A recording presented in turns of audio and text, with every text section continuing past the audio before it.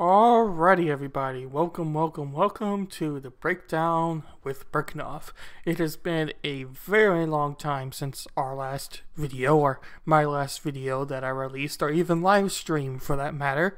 Uh, been been a while, but I just wanted to make this quick channel announcement, and I will try to make this as quick as possible because I do like or do tend to uh, drag things out quite a bit.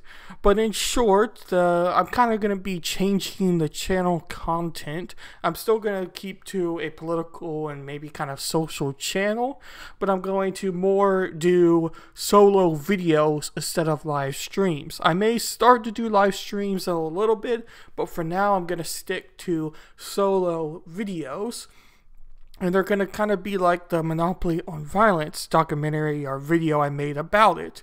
So they're going to be more long form videos with, you know, edits from other clips and my analysis of it and content like that. To have uh, some more libertarian type of streams and kind of go over principles or go over ideas or debates between uh, different perspectives of the libertarian belief system and whatnot because I'm starting to find that philosophy very interesting and I've been involved in the Libertarian Party for a while, partly why I did take a break from this channel.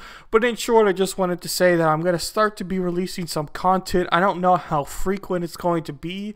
I don't really want to make any promises yet because usually when I did make a promise, I didn't end up keeping to it. So I don't want to tell you it's going to be a video a week or a video a month and it not be a video a week or a video a month. So I'm not necessarily going to tell you how frequent these uploads are going to be. I have goals for it. I want the channel to be more consistent. I want to have fun video topics, uh, topics where we go into in-depth analysis and take different perspectives and whatnot. But I want to mainly focus on good content. So, like I said, I'm not. I can't promise how many many videos there'll be, but that's kind of what the channel is going to be, at least for the near future. And I hope you'll stick around and like the videos I make. Catch you on the next one.